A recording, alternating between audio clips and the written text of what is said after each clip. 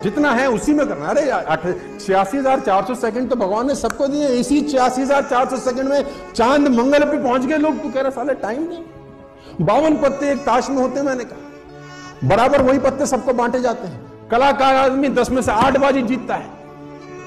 उसको ये तकलीफ़ नहीं होती कौन से पत्ते आए उसको पता है जो आए हैं, उनसे खेलना कैसे रोता थोड़ी रहेगा, पत्ते अच्छे नहीं आए जी, पत्ते हमारे तो किस्मत खराब है जी।